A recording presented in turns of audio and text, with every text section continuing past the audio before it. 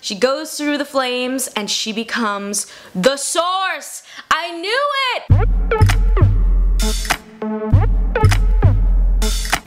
It's Kristen and today we are talking about episode 21 of the Charmed reboot. That's right, this is the second to last episode. Next week is the finale of season 1 and it looks like things are to get pretty intense. So in this episode there's a virus that's taken over the town and we know that it is related to this prophecy.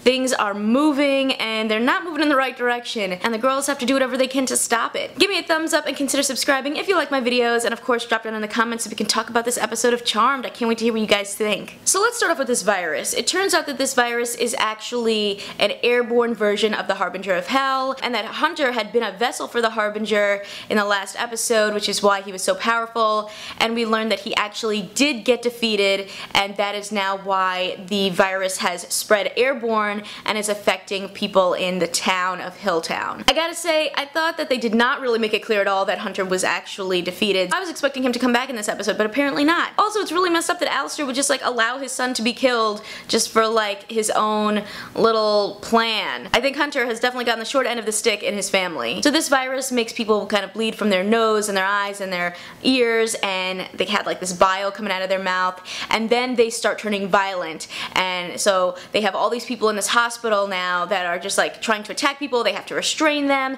and even Niko becomes one of them. Although we do learn that before Niko was infected, she did pass out and just start bleeding from her nose in general because because now that she learned the truth about what Mel did to her, it's like making all these memories flood into her brain. She could have an aneurysm and honestly I think that we're learning here that the magic that they've done can have serious consequences. As the virus begins to spread outside of the hospital, we see Galvin really like kind of make a 180 change over his thoughts of magic and witchcraft and the supernatural. You know, obviously he doesn't really want to be involved in it, but at this point he's kind of like, we're in this, you know. He started thinking about the fact that Macy and her sister sisters have to deal with so much and he's like, you know what, I learned how to get rid of the EB on my trip. Maybe that will work here and I'll be able to help save all of these people. And so he uses the magic that is in his family. He has to sacrifice himself, which is like a pretty big sacrifice, um, in order to save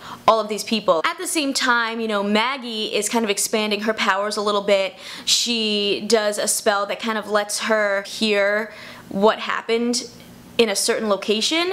And it just kind of seemed a little bit like the evil eyesight but just her own empathic version of it. And we also got to see her go to an empathic plane and talk to Parker, where he let her know that the prophecy couldn't happen until Charity died, and so the girls needed to go and save Charity. And it was kind of like a double-edged sword there because, you know, he's letting them know, but at the same time, they end up leading him to Charity. And so two things here stood out to me. The first is that Charity wanted to get the girls help to create this like cloaking spell, and it turns out that that that was a spell that Mel wanted to use on Niko and they were like no you can't do it. So it's just like ironic that this same spell that maybe could have stopped all this drama with Niko and Mel is now the spell that Charity needs to save herself. I think Mel was really like pissed off to see that. The other thing is that now Maggie has to fight Parker once he arrives and I was just disappointed to see that Parker was literally just himself with like black smoke around him.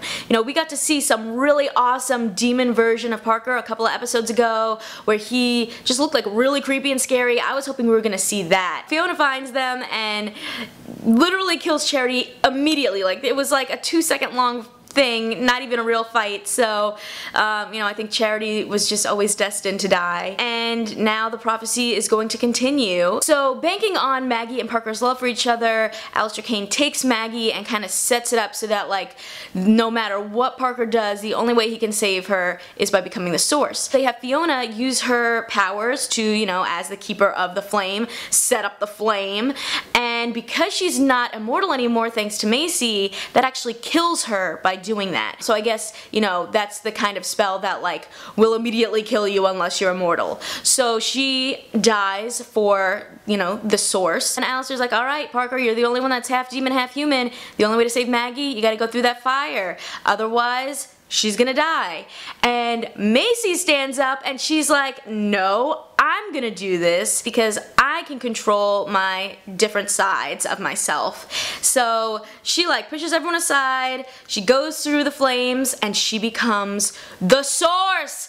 I knew it! Didn't I tell you guys? I knew she was gonna become the source because I just knew Parker couldn't do it, you know? I just feel like Parker's not strong enough to do that. So Macy becomes the source, and girl has all the power and she immediately kills Alistair Kane. She can just like, not even orb, but just like transport everyone back to the house and she wipes the minds of everyone who is sick and she even goes and brings Galvin back to life. Like girl is very powerful and it looks like going into the finale that that power might try to consume her you know like I don't know if she's gonna be able to really balance her good and evil sides. But I was just so excited that I was right and that Macy became the source because I feel like they were just kind of leading up to this the whole time. She's a witch, she's a demon, she's a human, you know, she kind of has all the elements that would make her the ideal candidate to become the source.